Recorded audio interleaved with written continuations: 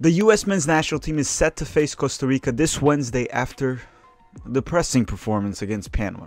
Hi, if you're new here, I'm Filippo, host of Verticality Manager TV. Oh, I just used the V word. Oh, yes, I did. If you're new here, welcome to another preview for a U.S. men's national team match. We always do this before the matches, so if you enjoy this type of content, please consider subscribing. We'll be going through where you can watch the game, what to expect. We're going to dive into Costa Rica. I'll try to predict Greg Berhalter starting 11. I've done an okay job. Actually, the last match was just completely terrible.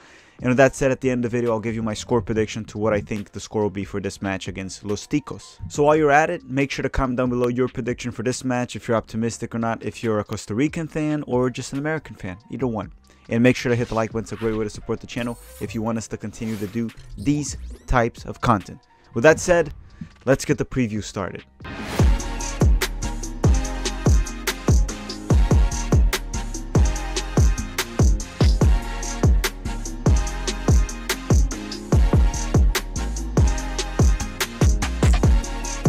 The United States is set to face Costa Rica this Wednesday, October 13th at 7 p.m. Eastern Time at the brand new Lower.com Stadium at Columbus, Ohio, that will be replacing our historical Crew Stadium for World Cup qualifying. I guess we'll see some Zardes in this match, and technically it's a homecoming match for Greg Berhalter. Uh, I hope we don't see Zardes, but let's be honest, there's a very, very good chance we're going to see Gyasi Zardes on this match. If you're in the United States, you may watch this match at ESPN2, UniMás, and TUDN. Throughout history, the United States and Costa Rica have faced each other a total of 39 times. For these 39 matches, 18 of them ended with an American win, 16 with a Costa Rica win, and 5 draws. To say the least, this is a very, very balanced matchup. And there I go again, using another of Greg Berhalter's favorite words verticality, balanced. Maybe I'll use fluidity later in this video. Now, for the 18 American wins, 16 of them were at home. And for Costa Rica, they have won 10 out of their 16 wins also at home. So for this matchup specifically, home games have always played a big role, which we can hope it plays a big role again as well. But every time there's a host team in this matchup, there is a clear advantage. Now, the United States has won the last match against Costa Rica that were friendlies, but we have lost our last competitive match back in 2017 for World Cup qualifying at home, and it was 2 0, roughly about one month before Couva happened. And in regards to any updates for the U.S. men's national team's current roster, Zach Steffen, Antonee Robinson, and Weston McKennie are all expected to be available for this match. Besides that, at the time of this recording on Monday, there's no other updates. Now let's dive into Costa Rica and then I'll go into my predicted starting 11 for Greg Berhalter. But before we do that, I need to dive into Los Ticos. When it comes to World Cup qualifying, Costa Rica has been fairly successful in recent years. Uh, that's actually an understatement. They've been very successful in these recent years. They were able to qualify in the 2002 World Cup, 2006, 2014, in 2018. Along with that, they were also able to reach the quarterfinals in the 2014 World Cup at Brazil, which for any CONCACAF nation, that is a huge accomplishment. Ask Mexico. When was the last time Mexico made it to the quarterfinals? In regards to their current roster, many call it experienced. I personally call their current roster old. They average 29.5 years of age, which is roughly 30 years of age per player. I'm sorry, that's old, and obviously experience as well. With age, experience comes along with it. Along with that, they still have Randall Leal from Nashville and Luis Diaz from Columbus Crew that are 24 and 22 years old respectively, so they're technically bringing that average age down. This team has a lot of players that are 34, 35, 36, some 37, 39 year olds players that I'm going to talk about in this video. So yes, they're old, but experience does play a role in this team as well. They have aged. A lot of the players in this roster were also in the 2014 roster for the World Cup run. Okay, but before I dive in to this current roster and how they got here, let's talk a little bit about their coaching staff situation, how we got where we, we are with Costa Rica very briefly, and then I'll talk about key players and some injuries that they might have and won't be playing. After finishing fourth in Nations League and, well, losing 4-0 to the United States in a friendly, Ronald Gonzalez was fired back in June, their previous coach. And from there, Luis Fernando Suarez, a Colombian manager, took over the national team with a goal to once again qualify Los Ticos to the World Cup. Now, ever since he took over, it seems like Costa Rica has been able to get wins against weaker opponents, but losing or tying against the tough ones. In Gold Cup, they managed to win all their group stage matches and then lost to Canada in the quarterfinals 2 0, which was technically the first tough opponent they faced, considering Jamaica is just generally a mess and they were in their group during Gold Cup. Now, for World Cup qualifying, they have three draws, one loss, and one win. And that loss came against Mexico, and that win came against El Salvador at Costa Rica. However, they seem to be getting some rhythm as of late with a big comeback against El Salvador at home. Great comeback in the second half, led by Celso Borges and Bryan Ruiz. And obviously led by Keylor Navas. To be fair, El Salvador could have won that game, but regardless, Costa Rica won, and they seem to be picking up momentum off of that. We'll see against the United States. One thing we do have to say about the Costa Rica national team is they have been struggling to score. They only scored in two out of the five matches in World Cup qualifying. That was against Jamaica, which is probably the worst team in the final eight.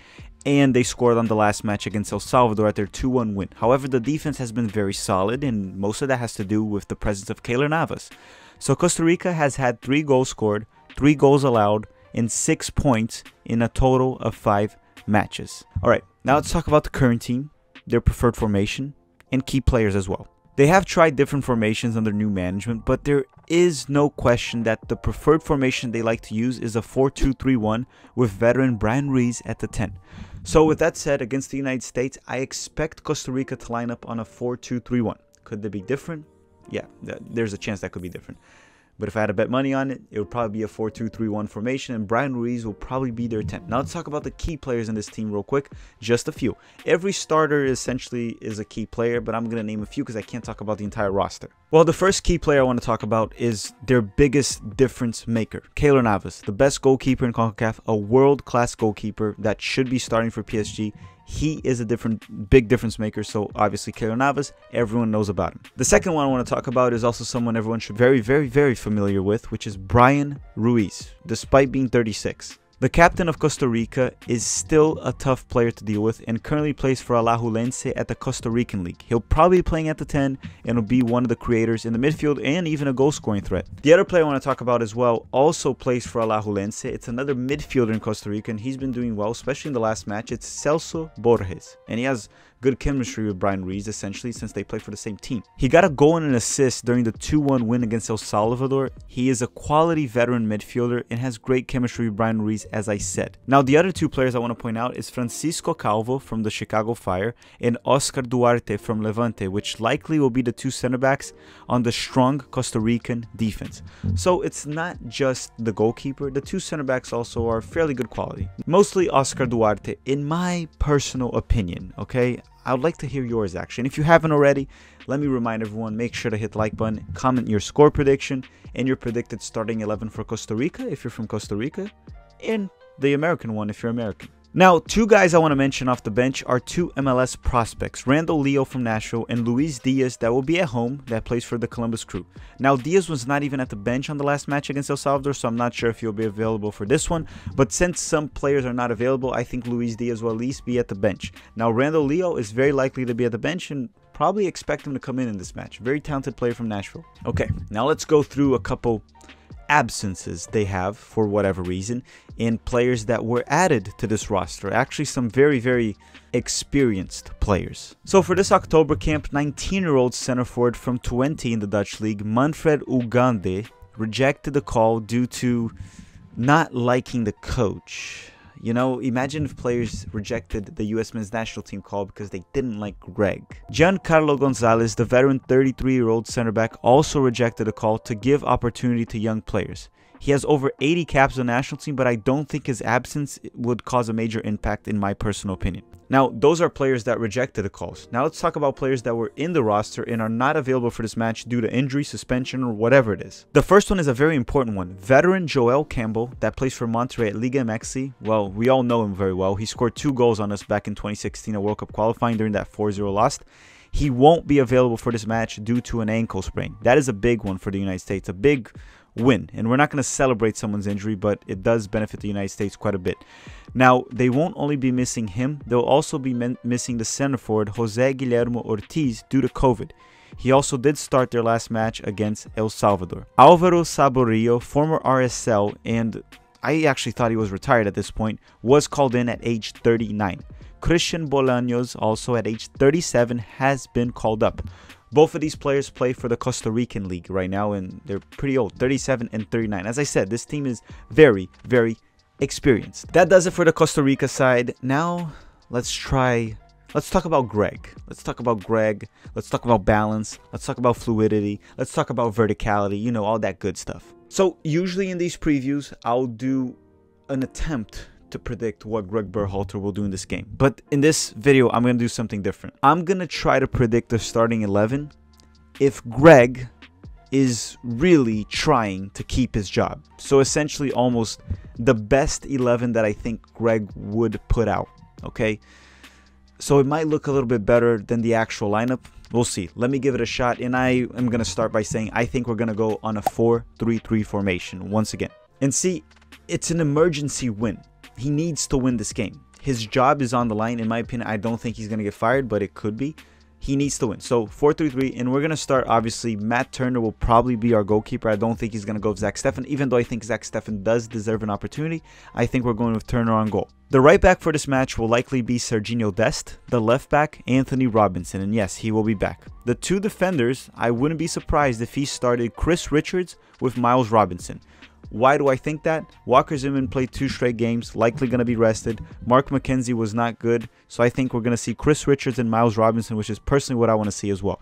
Now, the midfield, I think we're going to have Tyler Adams at the 6, Luca De La Torre, and Weston McKennie at the 8. One can only hope, but don't be surprised if Greg does this for this for this game specifically. Now, for the forwards, I think he's going to put Brenden Aaronson on the right wing. I don't think Arriola is going to start once again. I think Matthew Hoppe will actually start on the left wing, and Ricardo Pepi will be back at the center forward position but I do expect Gyasi Zardes to come in throughout this game. I really do, unfortunately. That probably will happen. So just to recap, the starting 11 will be Matt Turner on goal, Dest on the right, Robinson on the left, Chris Richards and Miles Robinson as the center backs, Adams, De La Torre, and Weston McKennie on the midfield, Brenden Aaronson and Hoppe as the wingers, and Ricardo Pepi as the center forward. Alright guys, this does it for the preview. Now, obviously, as I always do towards the end, I'll be giving you my score prediction for this match. And, you know, it's hard to remain optimistic after the Panamanian game but we do need to remain optimistic. And Columbus has been the home of the 2 0, especially against Mexico. So I'm going to go with United States 2, Costa Rica 0. 2 0 for the United States of America. We bounce back. We're not going to play well again because it's very hard to play well with Greg. I think the problems will still be there, but I think we're going to pull off a 2-0 win and we're going to reach 11 points in World Cup qualifying and we'll be over halfway there to Qatar and we will make it to Qatar. All right, make sure to comment yours down below, your prediction. Hit the like button if you haven't already. Thank you everyone that joined the membership of the channel for supporting the channel and getting uh, also extra content, the extra videos. Thank you very much. Thank you you that are watching the video and hitting the like button and supporting us. Hopefully you guys enjoyed. See you guys at the watch along this Wednesday. Thank you for watching and have a great day.